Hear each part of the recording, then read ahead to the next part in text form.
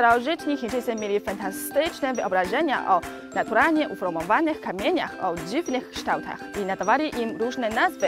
Góra Tianzhushan w prowincji Anhui słynie z dziwnych formacji skalnych, więc jest oczywiście wiele wyobrażeń na ich temat. Na przykład taskara. Czy taskara wygląda jak krowa leżąca na ziemi?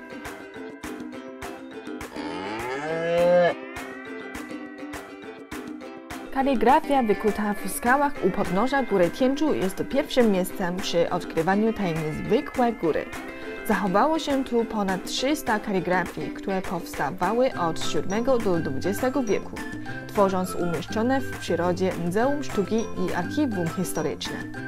Wykuta artystyczna kaligrafia to teksty o astronomii, geografii, polityce, ekonomii, wojskowości i kulturze.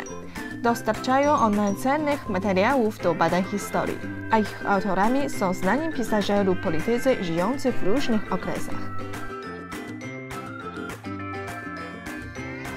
Nasz drugi przystanek to szczyt tej niezwykłej góry. Zobaczymy tak olbrzymie skały o rozmaitych kształtach. Mam szczęście, że mogę pojechać kolejką linową, inaczej jutro nie będę w stanie ruszać nogami.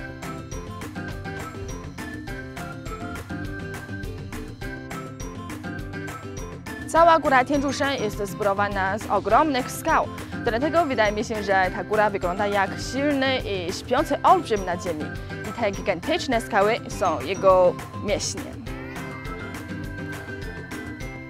Patrząc na te gigantyczne skały pod różnym kątem, można zobaczyć różne kształty. Czasem przypominają wróżkę, a czasem zwierzęta.